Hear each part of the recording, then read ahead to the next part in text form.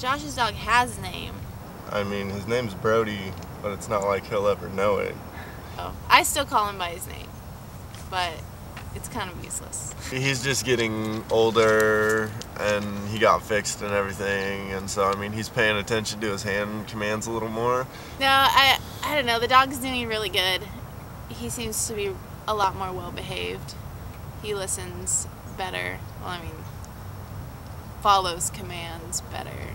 Well, I got the job at Hiram's because it was close to my house, and all I was doing was walking around and walking into places asking if they were taking resumes or applications.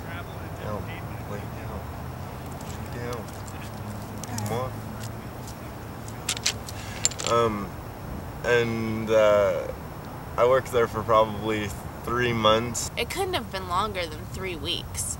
I don't know. I kind of got fired slash told them to screw themselves. Uh, my manager didn't really like me. And he told me he got fired because the guy who works there, whose mom is the manager, uh, I guess he's like 30 and unattractive, and he likes to talk to the high school slash college girls that work there. And as soon as my brother started working there, they didn't want to talk to this guy anymore. They wanted to talk to Josh. And so Josh is like, oh, I got fired because this guy doesn't like these girls talking to me instead of him. Uh, well, my girlfriend used to work at J.C. Penney's, and she got me a job there. I worked there for a total of like six hours, I believe, and that was the only time I was training.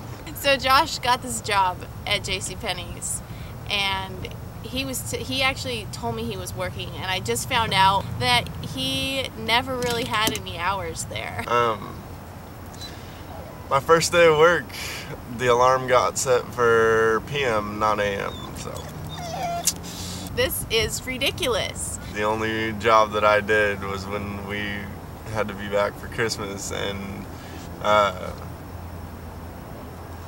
I don't. All I did was stand there for one day and hand out coupons.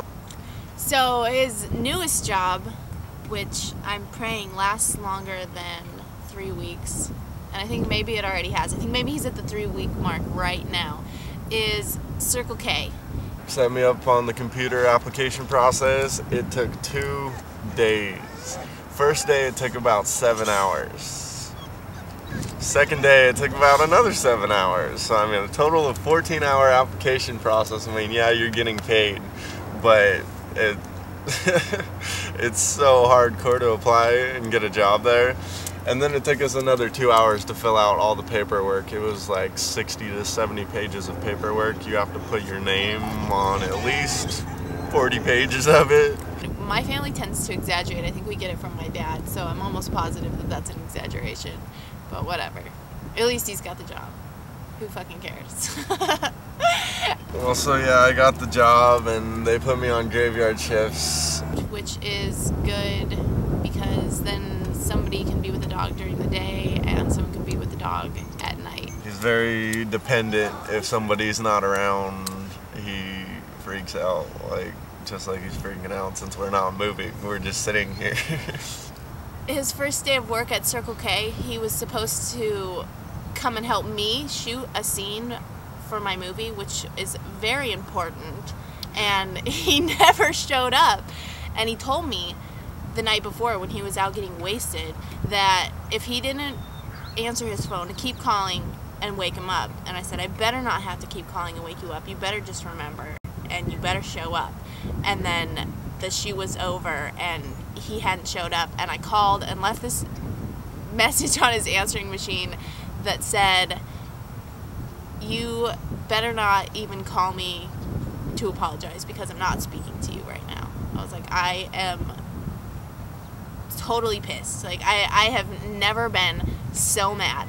And I didn't find out until probably a week and a half later when I decided to talk to him again that he actually got called into work, his first day at work, that he had been waiting for and waiting for. Circle K was just kind of messing around with him. And finally, they called him on the one day he had something to do.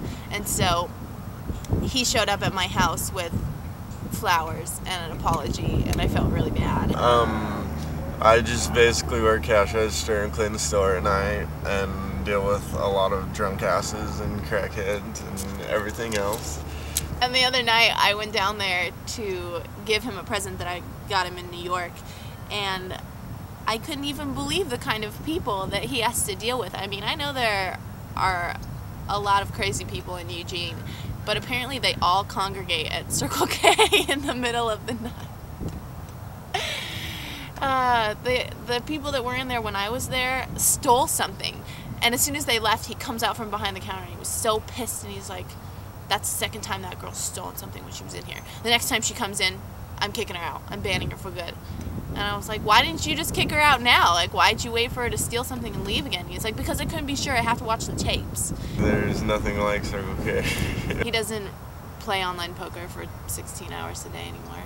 I mean, I went from having no money for a good year and a half, like not even having five dollars in my pocket for a month, and now I've got enough money to be able to deal with the likes of him and still be able to beat us good. He's doing pretty good. Better than a year ago.